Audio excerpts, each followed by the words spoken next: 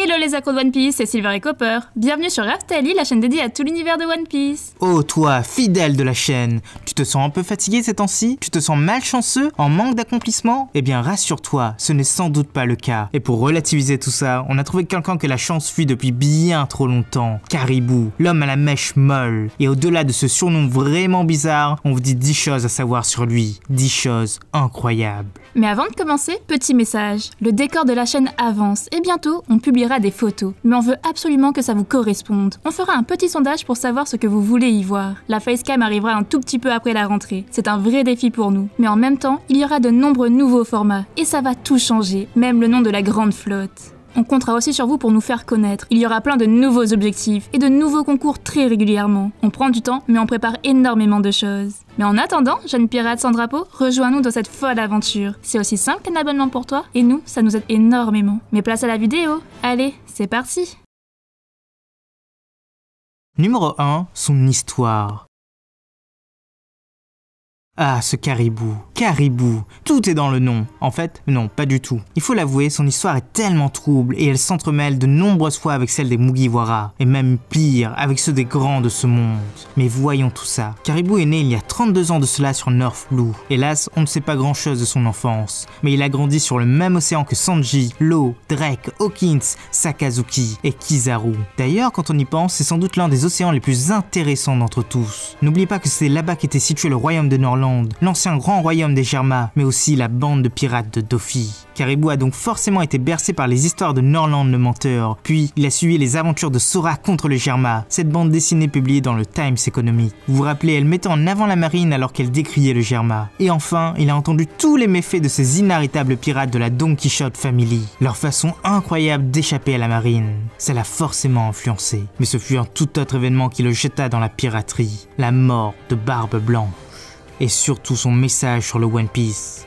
Très vite, il a été appâté par l'appât du gain et il s'est jeté corps et âme dans l'aventure avec son frère adoptif. Korribu. Durant toute la première partie de Grand Line, il a tué sans vergogne. Il avait le pouvoir pour tout conquérir. Il faisait régner la terreur. Aucun marine ne lui résistait, pas plus que les pirates. Mais arrivé sur Sabaudi, tout changea pour lui. Il savait ne pas pouvoir y arriver seul. Et il était tombé au meilleur des moments. L'équipage des chapeaux de paille avait refait surface. Et il recrutait en masse pour attaquer le nouveau monde. Lui, comme tant d'autres Rocky prometteurs, il accepta la proposition de Demalo Black. Hélas, ce n'était qu'un usurpateur. Et lorsque la marine et les arrivèrent, ce fut la panique générale. Absolument rien ne les avait préparés à ça. Presque tous les pirates s'étaient fait attraper. Mais lui et son équipage ont pu s'enfuir. Il a pris en chasse les vrais Mugiwara. Mais pourquoi? Eh bien pour se faire avoir lamentablement et se faire enfermer dans un tonneau. À partir de là, sa vie sera entièrement distincte de son équipage. Il pourra s'évader sur l'île des hommes poissons et enlèvera un grand nombre de sirènes grâce à ses pouvoirs. Mais la cupidité le poussera à attaquer Shiraoshi. Il sera à nouveau battu par le Monster Trio qui le dépouillera. À son réveil, il va essayer de se venger, mais il attaquera les mauvaises personnes, les envoyés de Big Mom. Il se fera littéralement balayer, le pauvre.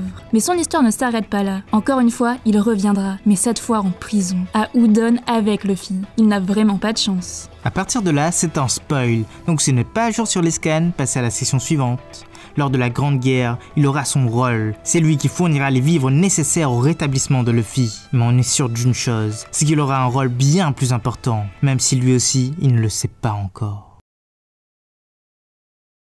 Numéro 2. Un fruit décevant. Cela vous a peut-être échappé, mais le fruit du démon de Caribou, eh bien c'est un Logia. Et oui, le Logia des marées. C'est bizarre sur le principe, mais en fait, c'est plutôt cool. Comme tous les Logias, son corps est quasiment indestructible. Il peut perdre ses membres, et eh bien ça repoussera. C'est une des raisons qui ont fait de lui un monstre redoutable dans la première partie de Grand Line. Mais son fruit du démon ne se résume pas à ça, car à marée, eh bien ça pue. C'est humide et il y a des sables mouvants. Grâce à ses caractéristiques, il peut tout absorber, stocker beaucoup de choses dans son corps, exactement comme Barbe Noire. Mais lui, il ne les détruit pas, les choses restent même vivantes. Exactement comme pour les sirènes. C'est vraiment fou. Hélas pour lui, il est entré en scène au pire moment. Alors qu'avant l'ellipse, il aurait été presque imbattable pour tous les Mugiwara, voire même imbattable tout court, maintenant, le Haki est connu de tous les puissants. Il n'a plus aucun avantage dans le nouveau monde en termes de force. D'ailleurs, Pecoms l'a eu d'un seul coup. C'est bien dommage. Numéro 3, le surnom. C'est assez bizarre, mais Caribou, ça sonne vraiment pas comme un nom, mais plus comme un surnom. D'ailleurs, on ne connaît pas le nom de famille de cette personne. Soit ce n'est pas important, ou alors, eh bien, ce sera dévoilé plus tard. En attendant, ce nom correspond bien à la proue de son navire, qui est en caribou, et aussi sur son monton. Mais son vrai nom, eh bien, c'est la mèche molle, sans doute à cause de son fruit du démon. Il est toujours humide. C'est étonnant surtout qu'un marais, c'est composé d'eau, et que l'eau, c'est l'ennemi des utilisateurs de fruits du démon. Numéro 4. Les armes antiques. Dans ce monde, il existe des armes capables de tout détruire, des choses presque inarrêtables. Évoquées très tôt dans l'œuvre, elles rythment l'histoire par leur découverte. Pourtant, ils sont toujours sous bonne garde, et une seule d'entre elles est actuellement connue. Poséidon, la grande sirène Shiraoshi. Et son grand pouvoir n'est connu que de certaines personnes. Sa défunte mère, ses frères, son père Neptune, Robin, Van der Decken et Caribou. Et oui, il a tout entendu alors qu'il cherchait des trésors. Et tout de suite, il a essayé de se procurer cette chose si précieuse, sans vraiment la comprendre. Mais il savait que ça se vendrait très cher. Vous l'aurez compris, il est donc dans le secret. Numéro 5. La pièce manquante.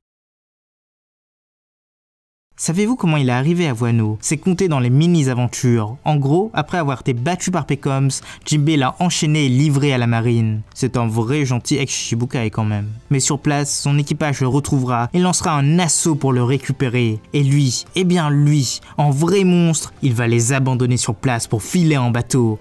Mais le karma oblige, il va croiser une grosse tempête. Il fera naufrage et sera récupéré par une petite vieille qui va le soigner. D'ailleurs, cette dame va le prendre pour son petit-fils, un révolutionnaire mais là aussi, il va l'abandonner lors d'un assaut ennemi. Mais dans un excès de courage, il reviendra sur ses pas et il vaincra Scotch, un des hommes de Kaido. Son équipage le rejoindra juste après et ensemble, ils libéreront l'île. Mais pas pour longtemps, car X-Drake, eh bien, il va débarquer et sans aucun suspense, il va lui mettre la pâtée. Et c'est comme ça qu'il finira à Udon. Numéro 6. Un personnage en double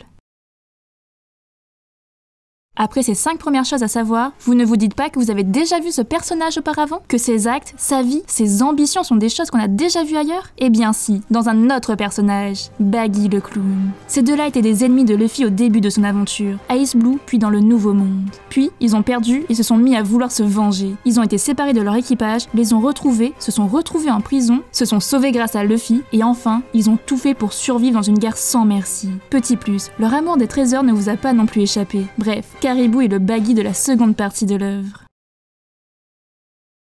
Numéro 7. Le Vaillant.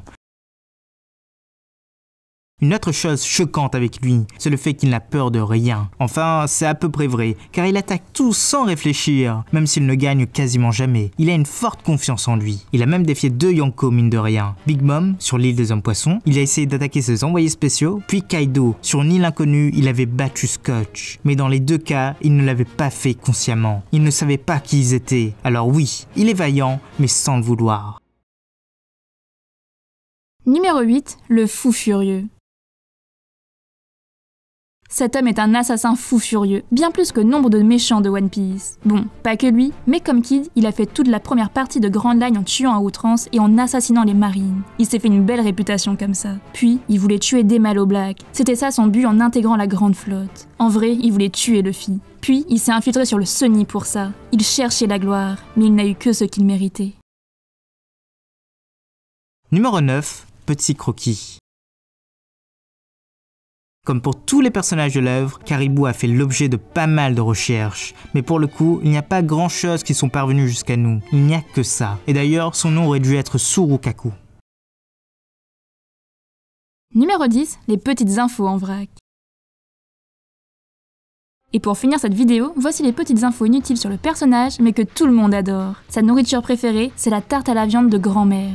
C'est pas pour rien. Il mesure 2m28, c'est pas mal quand même. Son hobby, c'est d'accumuler des trésors et encore des trésors. Et pour ça, il est prêt à tout. Et enfin, vous allez sans doute tous l'aimer un peu plus avant la fin de l'arc Wano. Mais ça, l'avenir nous le dira. Voilà voilà, c'est déjà la fin de cette vidéo. On espère que ça vous a plu et surtout, laissez-nous votre avis en commentaire. C'était Silver et Copper pour Aftalil. A, bientôt, les accros de One Piece.